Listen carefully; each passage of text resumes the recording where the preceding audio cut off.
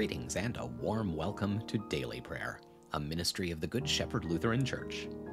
My name is Pastor Bob Schaefer, and I'm delighted to have you here with us. Today is Saturday, April 1st. We're preparing for Passion Sunday.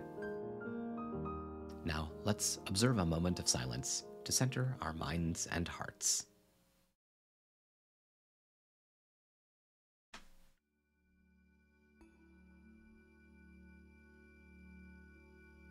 Let's pray. O God of mercy and might, in the mystery of the passion of your Son, you offer your infinite life to the world. Gather us around the cross of Christ and preserve us until the resurrection. Through Jesus Christ, our Savior and Lord, who lives and reigns with you and the Holy Spirit, one God, now and forever. Amen. A reading from the Gospel of Mark, chapter 10.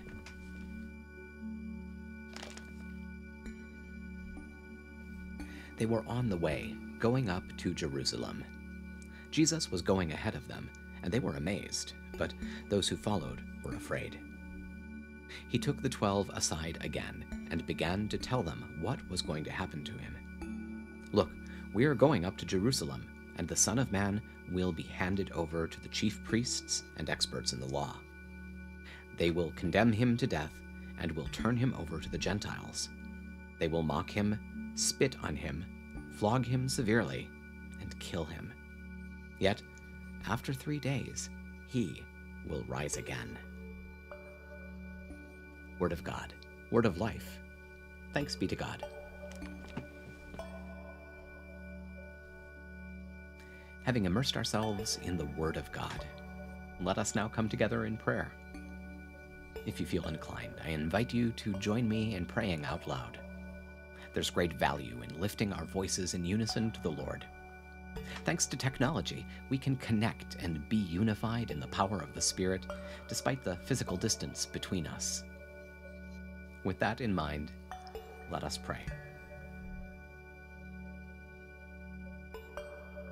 Holy God, holy and mighty, holy and immortal, have mercy on us.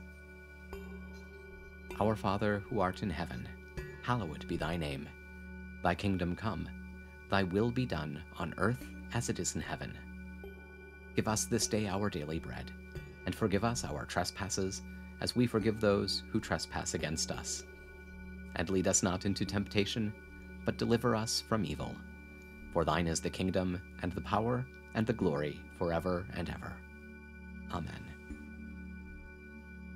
I believe in God, the Father Almighty, creator of heaven and earth. I believe in Jesus Christ, God's only Son, our Lord, who was conceived by the Holy Spirit, born of the Virgin Mary, suffered under Pontius Pilate, was crucified, died, and was buried. He descended to the dead. On the third day he rose again. He ascended into heaven. He is seated at the right hand of the Father, and he will come to judge the living and the dead. I believe in the Holy Spirit, the Holy Catholic Church, the communion of saints, the forgiveness of sins, the resurrection of the body, and the life everlasting. Amen.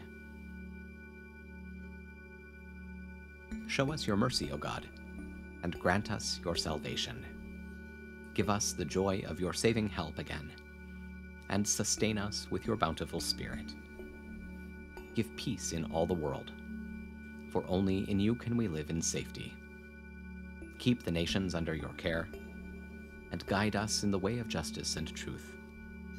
Let your way be known upon earth, your saving health among all nations. Let not the needy be forgotten, nor the hope of the poor be taken away. Create in me a clean heart, O God, and sustain me with your Holy Spirit. Lord, hear my prayer and let my cry come before you. In penitence and faith, let us make our prayer to the Father and ask for his mercy and grace. For your holy people, that they may triumph over evil and grow in grace, we pray to you, O Lord. Have mercy. For candidates for baptism and confirmation, that they may live by every word that proceeds from your mouth. We pray to you, O Lord. Have mercy.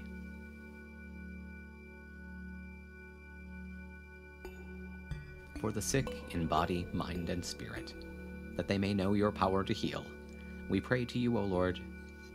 Have mercy.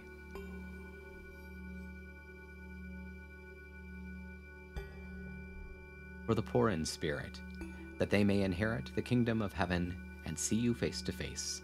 We pray to you, O Lord. Have mercy. Let us commend the world, for which Christ suffered, to the mercy and protection of God.